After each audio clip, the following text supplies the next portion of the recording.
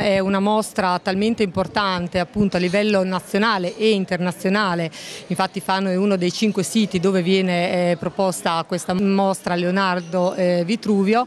e, e, che noi veramente vorremmo vedere no, eh, proprio la fila a, al di fuori del, del, museo. Questa mostra invece, nonostante credo i buoni risultati, non c'è questa fila che si dovrebbe vedere anche proprio al di fuori no, dei, dei, musei, eh, essendo una mostra unica che eh, per tre mesi vengono esposti questi, eh, questi disegni di, di Leonardo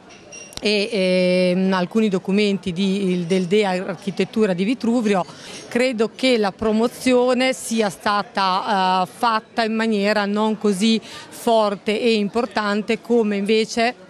una mostra di questo genere eh, richiedeva e infatti interveniamo proprio su, su questo tema, il discorso della, della promozione perché essendo tra l'altro questi dei gioielli incastonati nella, nella, parete come ha detto la curatrice Francesca Borghi doveva veramente portare tantissima gente. Questo perché, come ho ribadito qualche giorno fa, la promozione deve essere fatta in maniera importante e fondamentale per la nostra città, cosa che ancora non viene fatta perché comunque alle fiere ancora la città di Fano non viene così eh, sponsorizzata, percepita, ma eh, è un qualcosa che viene tenuto sempre un po' no, tra di noi come si dice. Quindi noi puntiamo e chiediamo veramente in una promozione importante per la città di Fano, perché nella città di Fano si deve respirare veramente cultura, arte, ehm, è una città accogliente, bella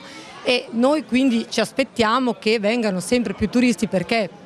per far sopravvivere comunque il commercio eh, a livello di negozi, ristorazione o tutto quello che concerne comunque il commercio e le attività economiche è importante questo, bisogna andare alle fiere, alle fiere internazionali